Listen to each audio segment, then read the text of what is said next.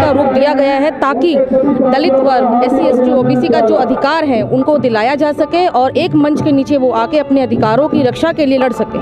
लेकिन मैडम आज तो जो अधिकार की बात कर रही हैं आज आप सुंदर कपड़े पहने हुए हैं और आप अच्छी लग रही हैं और पहले तो यह था कि अ, कहा जाता कि ढोल गवार शुद्ध पशु नारी ये सब ताड़न के अधिकारी तो आज इसकी आवश्यकता क्या है? देखिए दलित वर्ग जिसे हम कहते हैं एस सी एस जो समाज है, ये वो समाज है जो वर्षों से पिछड़ा रहा है। अगर बाबा साहब ने जो हमें संविधान दिया, बाबा साहब ने जो अधिकार दिए, समानता का अधिकार दिया, ये उन्हीं अधिकार का ही नतीजा है कि आज मैं आपके सामने बोल पा रही हूँ, सुंदर वस्त्र पहन पा रही हूँ, जैसा आप कह रहे सुंदर लग रही हूँ। और आज इसकी क्या ज़रूरत है? एक तबका, एक वर्ग, जो आज भी कहीं ना कहीं एक हीनता का शिकार है, उसको ऊपर उसको बराबर लेवल पे लाने के लिए इस तरह के प्रोग्राम, इस तरह की रैली इस तरह सरकार को जताना बहुत ज़रूरी है कि हम भी हैं, हमारा वजूद है, हमें भी अधिकार चाहिए, हमें भी समानता चाहिए।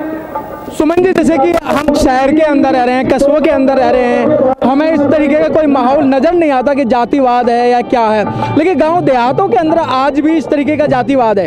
नहीं ये कहीं ना कहीं मैं इस पे वा- वाकिफ़ नहीं हूँ कि शहरों में नहीं है। शहरों में भी किसी हद तक जातिवाद है और गाँव देहातों में तो आप खुद ही एडमिट कर रहे हैं कि जातिवाद है। जहाँ पे आप किसी प्रशासन के कार्यालय में जाके देखिए, वहाँ पर एक जाति के आधार पर एक खास उनको तवज्जो दी जाती है और अगर ये समझ में आ जाए कि एक दलित वर्ग का एम्प्लॉय है तो उसके साथ एक अलग तरीके का व्यवहार किया जाता है, जो कहीं ना कहीं समानता को नहीं दिखाता है और ये कहीं ना कहीं इसको सही करने की ज़रूरत है। इसीलिए इस तरह की रैली का आयोजन होना बहुत ज़रूरी है, ताकि सरकार को, प्रशासन को ये नॉलेज में हो कि हम भी हैं, हमारा एक वजूद है, हमें भी यहाँ पर समानता दी जाए। मैडम, एक अभी आप देख रहे हैं कि जो अंधविश्वास है महिलाओं के अंदर बाबाओं के चक्कर में आ जाती हैं। अभी एक बाबा जो है मतलब वो पकड़े गए और बाबा उन्हें सुबह बुलाते थे, शाम को। क्या ऐसी शिक्षा देते थे उनको कि एक गुमराह करने वाली, एक मनुवाद जिसे कह देते हैं, वो पनप रहा है। महिलाएँ क्यों इनके आक्रोश में और महिला जो इनके खबर में क्यों आ जाती हैं? देखिए जितना भी अंधविश्वास है ये सब मनुवाद की देन है।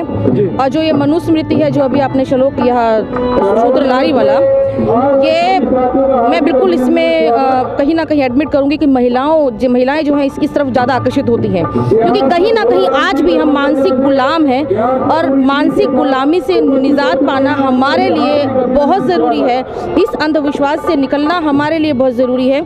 इसीलिए मैं आपके चैनल के माध्यम से महिलाओं से अपील करती हूँ कि हमें कम से कम बाबा साहब को पढ़ना चाहिए, उनके विचारों को हमें अपनाना चाहिए और उनके विचारों को अपनाते हुए अंधविश्वास से हमें दूर भागना चाहिए और मनुस्मृति का जो जाल है, हमें ये तोड़ना होगा, हमें शिक्षा की तरफ़ बढ़ना होगा, हमें अपने अधिकारों की तरफ़ बढ़ना होगा, हमें अवेयर होना हो, हमें जागरूक होना होगा। लेकिन मैडम जब आप मनुवाद की बात कर रही हैं, बच्चे हमारे होते हैं बच्चों को पैदा हम करते हैं, लेकिन उनका नाम तक हम लोग नहीं रख पाते हैं। उनका नाम भी रखवाने के लिए हम दूसरों के पास जाते हैं, जिन्हें आप मनुवाद कह रही हैं। देखिए, मैं जहाँ तक समझ रही हूँ कि आज बदलाव आ रहा है।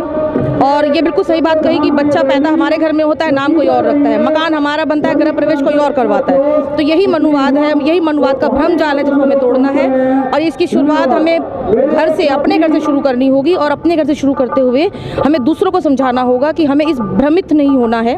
हमें शिक्षा के स्तर पर आगे बढ़ते हुए बाबा साहब को अपनाना है, हमें बौद्ध धर्म को अपनाना है, जो समानता की बात करता है, क्योंकि बाबा साहब ने कहा था कि धर्म वो है जो तर्क के आधार पर सही साबित हो अदरवाइज़ जो अंधविश्वास है वो धर्म नहीं है, वो सिर्फ़ और सिर्फ़ भ्रम जाल है।